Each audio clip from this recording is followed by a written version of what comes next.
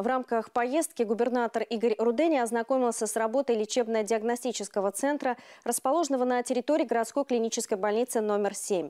Там создано отделение позитронной эмиссионной томографии, совмещенное с компьютерной томографией.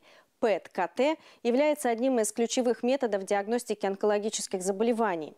Игорь Рудени познакомился с персоналом центра, пообщался, высоко оценил условия, созданные для работы медиков и приема пациентов.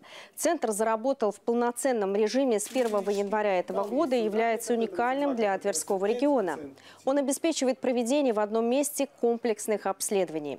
Ранее ПЭТ-КТ жители Тверской области могли пройти только в Москве и еще в нескольких регионах. Таким образом, Тверь стал одним из немногих региональных центров, где имеется такое высокотехнологичное оборудование.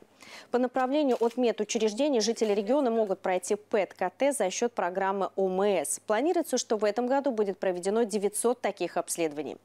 На данный момент бесплатно проведено уже 118. Таким образом, эти нововведения позволяют повысить доступность медицинской помощи, обеспечить раннее выявление и лечение онкозаболеваний в регионе.